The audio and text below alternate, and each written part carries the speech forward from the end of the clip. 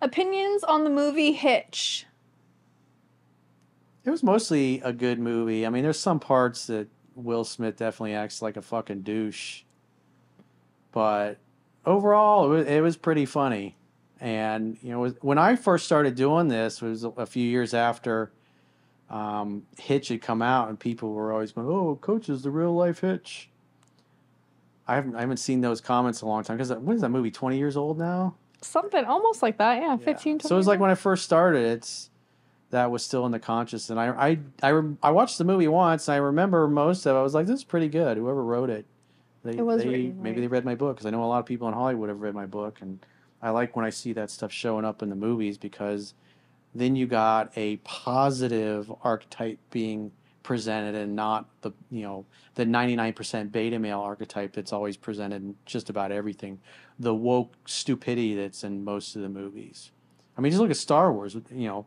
The girls are the heroes and the guys are a bunch you know, i mean look at luke skywalker. He was the hero of the galaxy and now he's some fucking eunuch that lives on an island all by himself and he sunk his um, his X-wing fighter in the ocean and just avoids everybody. And it's like and It sounds like And my kind of friend. Daisy Ridley comes, you know, uh, and you, you look at all the training that Luke went through to get his skills, and she just naturally is, you know, like a Jedi, like Yoda level Jedi skills with almost no training at all, and it's just it's fucking ridiculous. And that's what happened. George Lucas put Kathleen Kennedy in charge of his company, and you know, so now all the heroes are girls, Make it gay. and that's why. I was waiting I for think that. one of the new What did he ones. Yeah, the South Park episode. He's like, make it lame and make it gay. What is The it? uh, what's the It's new like one? the The, Disney acolyte, thing. I think. Yeah. You got some lesbians in there now, and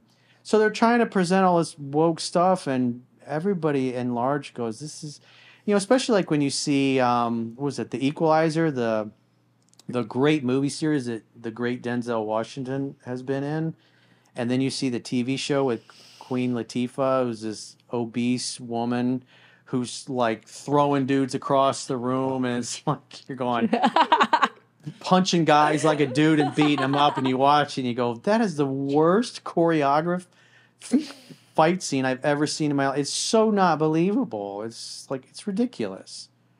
You know, or you see these. Uh, um, I think there was another Charlie's Angels movie that came out a few years ago, and these girls have like toothpicks for arms, and they're beating up these big muscular guys, and you're going, "Oh, come on, that's so ridiculous." hey, Pilates is like Nobody the new believes thing. that shit, and then the movies don't do well, and they go, "Oh, it's because you're misogynist, don't want to go to the movies." That's what it is. It's like, no, it's just not believable. You're not going to see some little scrawny 95 pound girl throwing a 250 pound bulked up dude across the room. It's just not going to happen. Exactly. It's not realistic. If you watch murder mysteries, you would know that any man, doesn't matter his size, is almost always going to be able to take down a woman, doesn't matter her size. It's just biology.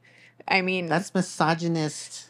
That's I hate- misogynist, Erica. hate to say this, but I really did enjoy what Caitlyn Jenner said about the Olympics and with the whole, um, you know, women and men and then trans having them having biologically like their own I mean, if they have separate divisions. bathrooms, Oh, they why should have their own separate category. things? No, Yeah. right. They need to have Uh, their like a own. third category. So it's like, you know, XY, XX, and then trans.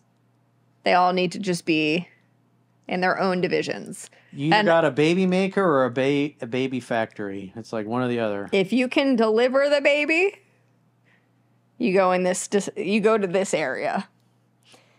If you can spit the baby out from your penis, you go to this line. And if you've done some modifications, and if you've altered anything, you go to that line over there and you guys you all go. fight each other. there you go. because I mean that fight that I that they were all talking about it, it upset me. Like when I, I, I, I think what I've read is like she was like a hermaphrodite or she, she, was- had some sort male- of advantage. She had the extra chromosome. She has the extra chromosome. she got like both. She's got an extra chromosome. She was an Indian and Audi or something. I I, thought the extra chromosome makes you retarded. No. Like a 46. Well, women can have three X's also. oh. No, because like an extra chromosome, that's like the slow people. There's there's a lot of different there, there's a lot of different like abnormalities and stuff like that that can happen in genetics, but they didn't really I don't think they disclosed what happened or with her issue. Um, Google it. But um Yeah, Down syndrome. You if you have an extra chromosome. It's a third copy of the chromosome 21. that's tris- trisomy. No, that's Flat trisomy looking 18. facial features with weak muscle tone. Yeah. Huh. Third copy of chromosome 21. The more Mhm. you know. Mm-hmm. Then there's another one that only women get. That's with I think they have three X's. Yeah, uh, What's and then the- they have like a triangular, like hmm. neck and nose, and I just I remember studying all of this in genetics, and I had to do like a paper on some of these, and I, I tried to just wipe it all out of my memory because I don't want any of this in my head for when the time comes for me to have babies. I want none of this